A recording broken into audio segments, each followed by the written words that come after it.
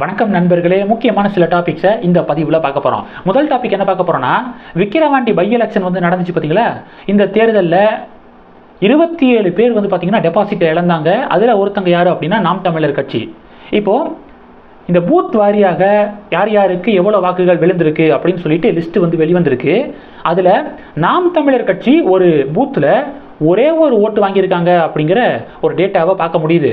இந்த டேட்டா வெளிவந்த உடனேயே திமுகவினர் அதை வந்து ஷேர் பண்ணி இப்போ நாம் தமிழர் கட்சியை கிண்டல் பண்ணிக்கிருக்காங்க அப்படிங்கிறத பார்க்குறோம் நாம் தமிழர் கட்சி என்ன பதிலடி கொடுக்குறாங்கன்னா இந்த தேர்தலில் இரநூத்தி ஐம்பது கோடி ரூபாய்க்கு மேலே செலவு பண்ணி நீங்கள் வந்து பணப்பட்டுவாடெல்லாம் நிகழ்த்தி ஜெயிச்சிருக்கீங்க.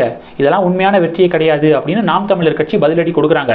இரநூத்தி ஐம்பத்தி நாலாவது பூத்தில் நாம் தமிழர் கட்சி ஒரு ஓட்டு வாங்கியிருக்காங்க. அந்த இரநூத்தி ஐம்பத்தி நாலாவது பூத்தில் மொத்தம் எவ்வளவு வாக்குகள் பதிவாயிருக்குன்னா ஐநூற்றி எண்பத்தி ஒரு வாக்குகள் வந்து பதிவாயிருக்கு. அதில் பாமக ஃபஸ்ட்டு பிளேஸ் பிடிச்சிருக்காங்க. முந்நூற்றி அறுபத்தி ஒரு வாக்குகள் வந்து பிஎம்கேவுக்கும் நூற்றி முப்பத்தி ஆறு வாக்குகள் திமுகவுக்கும் நாம் தமிழர் கட்சிக்கு ஒரு வாக்குகளும் விழுந்திருக்கு அப்படிங்கிறத நம்ம டேட்டாவில் வந்து பார்க்குறோம் ரெண்டாயிரத்தி பதினாலில் கூட நான் வந்து சொல்லியிருந்தேன். நோட்டாவோடு போட்டி போடக்கூடிய கட்சி பிஜேபி அப்படின்னு திமுக காங்கிரஸ் சொல்லுவாங்க. ஆனால் காங்கிரஸ் வந்து என்ன ஆச்சு அப்படின்னா இது ரெண்டாயிரத்தி பதினாலு நீலகிரி பாராளுமன்ற தொகுதியில் நோட்டா அதிக வாக்குகளை வாங்கியிருந்தாங்க. காங்கிரஸ் நோட்டாவை விட கம்மியான வாக்குகள் வாங்கியிருந்தாங்க அப்படிங்கிறத நான் இப்போ தான் ஒரு அப்டேட்டாக கொடுத்துருந்தேன். நேத்தோ முந்தா நேத்தோ. இப்போ இன்னொரு ஒரு இந்த ஒரு ஓட்டு சம்மந்தப்பட்ட இப்போ ஒரு டேட்டா வந்து கிடச்சிருக்கு. இது ஃபஸ்ட்டு டாப்பிக்கு ரெண்டாவது டாபிக் என்ன பார்க்க போகிறோம் அப்படின்னா டொனால்ட் ட்ரம்ப் இருக்கார் பார்த்தீங்களா? அவர் துணை அதிபர் கேண்டிடேட் அப்படின்னு சொல்லிட்டு ஒருத்தர் பேரை வந்து இப்போ ரெக்கமெண்ட் வந்து பண்ணியிருக்காரு. எலெக்ஷனில் பிரசிடென்ட் குடியரசுக் கட்சி சார்பாக பிரசிடென்ட் கேண்டிடேட்டு ட்ரம்ப்பு உறுதியாயிருச்சு. இப்போது வைஸ் பிரசிடெண்ட் யார் அப்படிங்கிற அந்த கேண்டிடேட் யார் அப்படிங்கிற பெரிய ஒரு எதிர்பார்ப்பு இருந்துச்சு. இப்போ ட்ரம்ப்பு யாருடைய பேரை வந்து பரிந்துரை பண்ணியிருக்காரு அப்படின்னா ஜேடி வான்சி அப்படிங்கிறவர். அவருடைய பேரை வந்து இப்போ பரிந்துரை வந்து பண்ணியிருக்காரு. ஜேடி வான்சி அவர்களுடைய புகைப்படத்தை பார்க்க முடியுது. அவருக்கும் இந்தியாவுக்கும் நல்ல ஒரு தொடர்பு வந்து இருக்குது அவருடைய மனைவி உஷா வான்சி அவர்கள் வந்து இந்திய வம்சாவளியை சேர்ந்தவங்க அப்படிங்கிறது குறிப்பிடத்தக்கது. இப்போ ட்ரம்ப் அவர்கள் ஜேடி வான்ஸ் அவர்களை தான் செலக்ட் பண்ணியிருக்காரு அப்படிங்கிற ஒரு டேட்டாவை பார்க்குறோம். ஒரு செய்தியை பார்க்குறோம். இது ரெண்டாவது டாபிக் மூணாவது டாபிக் என்ன பார்க்க போகிறோம் அப்படின்னா இப்போது பீகாரில் ஹாஜிப்பூர் இருக்குது பார்த்தீங்களா? அங்கேருந்து ரஷ்யா ஆர்மிக்கு பூட் இருக்குல்ல அது வந்து எக்ஸ்போர்ட் ஆகுது அப்படிங்கிற ஒரு செய்தியாக நம்ம கேள்விப்பட முடியுது. சில பேருக்கு ஒரு டவுட் வரும். ரஷ்யாவில் ஏன் பூட்டு வந்து தயாரிக்க மாட்டாங்களா? ஏன் இந்தியாவில் இருக்கக்கூடிய பீகாரில் இருந்து ஏன் பூட்டு அங்கே போகுது அப்படின்னு சில பேருக்கு ஒரு டவுட் வரும். ஹாஜிப்பூரில் பார்த்தீங்கன்னா ரொம்ப ஒரு குவாலிட்டியான பூட்ஸ் வந்து தயாரிக்கிறதுல ரொம்ப ஃபேமஸான ஒரு இடமா. அது மட்டும் இல்லாமல் ரஷ்ய ஆர்மி என்ன கேட்டிருக்காங்கன்னா மைனஸ் நா நாற்பது டிகிரிக்கு கீழே வந்து டெம்பரேச்சர் வந்து இறங்கும். அது எல்லாத்தையும் தாங்கக்கூடிய வகையில் அந்த பூட்டு வந்து இருக்கணும் அப்படின்னு சொல்லிட்டு சொல்லியிருக்காங்க.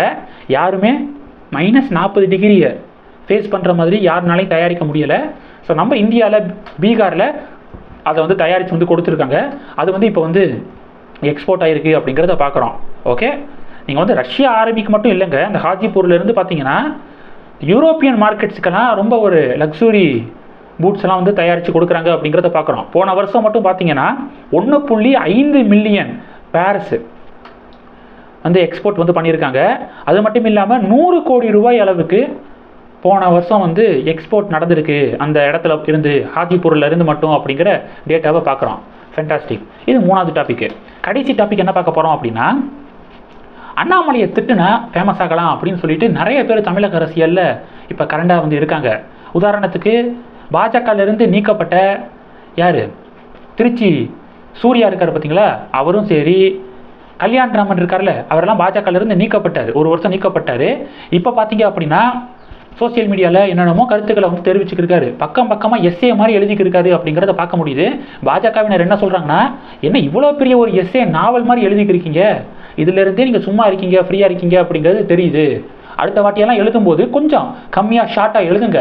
படிக்கிறதுக்கு எங்களுக்கு நேரம் இல்லை அப்படின்னு சொல்லிட்டு பாஜகவினர் நிறைய பேர் கிண்டல் பண்ணுறாங்க இதை நம்ம பார்க்குறோம். இப்போ வந்து என்ன சொல்லியிருக்காரு? கல்யாண் ராமன் என்ன சொல்லியிருக்காரு அப்படின்னா திருச்சி சூர்யா அவர்கள் ஒரு நேர்காணலில் அண்ணாமலை இந்த மூணு வருஷத்தில் மட்டும் பத்தாயிரம் கோடி ரூபாய்க்கு மேலே வந்து அவர் முறைகேடு வந்து பண்ணியிருக்காரு. பத்தாயிரம் கோடி ரூபாய்க்கு மேலே சம்பாதிச்சிருக்காரு இந்த மூணு வருஷத்தில் அப்படின்னு சொல்லிட்டு திருச்சி சூர்யா அவர்கள் ஒரு நேர்காணலில் பேசியிருக்காரு. திருச்சி சூர்யா அவர்களை பற்றி தான் தெரியும்ல? சும்மா போகிற போக்கில் வாய்க்கு வந்தது அடிச்சு விடுவார் அப்படிங்கிறது நிறைய பேருக்கு தெரியும். அது மாதிரி சொல்ல போக அதை எடுத்து இவர் கல்யாண்ராமன் அவர்கள் பார்த்துக்கோங்க திருச்சி சூர்யா அவர்கள் அப்படி சொல்லியிருக்காரு. அவர் சொன்னதில் ஓரளவு உண்மை இருக்கும் அப்படின்னு நான் வந்து நினைக்கிறேன். அப்படின்னு போட்டுட்டு அடுத்து வந்து ஒரு ஸ்டோரி வந்து எழுதியிருக்காரு பாருங்க. என்ன ஸ்டோரி தெரியுமா? ரெசிடென்சி ஹோட்டல் இருக்குல்ல அந்த ஹோட்டலுடைய பேஸ்மெண்ட்டில் ஒரு கார் வந்து நிற்கிதான் வண்டி வந்து நிற்கிதான் அந்த வண்டியில் யாருக்கும் தெரியாமல் அண்ணாமலை ஏறி எங்கே போயிருக்காரு அப்படின்னா சபரீசன் அவர்களை வந்து சந்திக்கிறதுக்காக போயிருக்காரு. சபரீசன் அவர்களை சந்தித்து அதிமுக பாஜக கூட்டணியை நான் வந்து உடைக்கிறேன். அப்படின்னு சொல்லிட்டு ஒப்பந்தம் போட்டுக்கிட்டாரு. அண்ணாமலை சபரீசன் அவர்கள் கூட ஒப்பந்தம் போட்டுக்கிட்டாரு அப்படின்னு சொல்லிட்டு கல்யாண்ராமன் அவர்கள் பதிவு வந்து போட்டிருக்காரு. அது மட்டும் இல்லாமல் என்னென்னமோ பேசியிருக்காருங்க. என்னன்னா அண்ணாமலை வந்து சுடுகாட்டிற்கு தான் தலைவராக இருக்க தகுதி இருக்கு. ஏன்னா சுடுகாட்டிற்கு தலைவராக இருந்தால் தான் யாருமே எழுந்து வந்து கேள்வியெல்லாம் வந்து கேட்க மாட்டாங்க. ஆனால் கட்சியில் வந்து தலைவராக இருந்தால் ஏன் அப்படி நடக்குது ஏன் இப்படி நடக்குது அப்படின்னு சொல்லிட்டு கேட்க தான் செய்வாங்க. அந்த விமர்சனத்தை தாங்கி கொள்ளக்கூடிய பக்குவம் வந்து அண்ணாமலைக்கிட்ட இல்லை அப்படிங்கிற மாதிரியெல்லாம் கல்யாணராமன் அவர்கள் பதிவு போட்டிருக்கிறத பார்க்க முடியுது. பாஜக சிம்பிளாக ஒரு விஷயம் சொல்கிறாங்க அண்ணாமலையை திட்டினா தான் ஃபேமஸ் ஆகுவோம். நாலு பேர் நாலு மீடியா வந்து பேட்டி வந்து எடுப்பாங்க. செய்தித்தாள்களில் ஒரு சின்ன இடம் வந்து கிடைக்கும். அதுக்காக தினமும் காலையில் தூங்கி எந்திரிச்ச உடனேயே அண்ணாமலைக்கு எதிராக பேசணும் அப்படின்னு ஒரு பெரிய குரூப் இருக்குது அந்த குரூப்பில் இப்போ வந்து சமீபத்தில் வந்து சேர்ந்தவங்க தான் கல்யாண் ராமனும் திருச்சி சூர்யாவும். அதுக்கு மேலே இது சீரியஸாக எடுத்துக்க ஒன்றும் இல்லை அப்படின்னு சொல்லிட்டு பாஜகவினர் இப்போ வந்து பதிவுகளை போடுறாங்க. இந்த டாபிக்ஸ் எல்லாத்தையும் பற்றி உங்களுடைய பார்வைகளை மறக்காமல் கமெண்ட் பண்ணுங்க. இந்த வீடியோ பிடிச்சிருந்துச்சுன்னா லைக் பண்ணுங்க ஷேர் பண்ணுங்க. மறக்காம நம்ம சேனலை சப்ஸ்கிரைப் பண்ணுங்க. மேலும் நம்ம சேனலுக்கு சப்போர்ட் பண்ணணும் அப்படின்னு ஆசைப்பட்டீங்கன்னா நான் பேசக்கூடிய வீடியோக்கு கீழே நன்றி அப்படிங்கிற ஆப்ஷன் இருக்கு. அதை கிளிக் பண்ணி உங்களால் முடிந்த தொகையை சேனல் வளர்ச்சிக்காக கொடுத்து உதவி செய்யலாம். இல்லை ஜாயின் பட்டனை கிளிக் பண்ணி நம்ம சேனலுக்கு மெம்பராக வந்து ஆகலாம். நன்றி. ஜெய் ஹிந்த்.